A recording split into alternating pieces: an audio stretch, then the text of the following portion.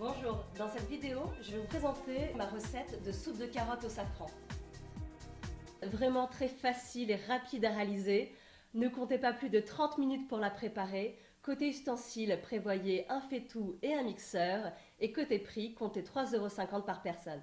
Et maintenant, les ingrédients. Il vous faut 2 litres de bouillon de volaille, 25 centilitres de crème fraîche, une dose de safran en filament, 2 kg de carottes lavées et épluchées. Coupez les carottes en rondelles.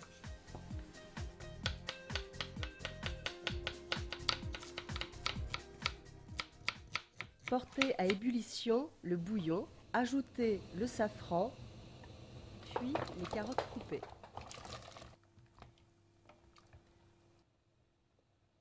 Les carottes sont cuites lorsqu'on peut facilement les écraser avec une fourchette. Mixez alors les carottes. Ajoutez la crème et remixez pour faire mousser la soupe.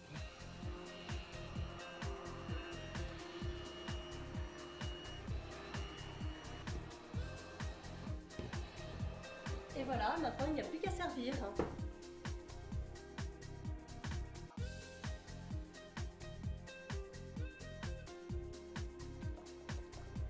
Pour la présentation, ajoutez un trait de crème fraîche et des herbes au choix.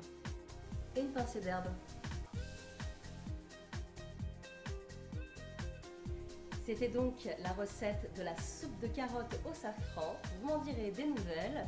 Et moi je vais vous laisser parce que je commence à avoir un petit peu faim. Bon appétit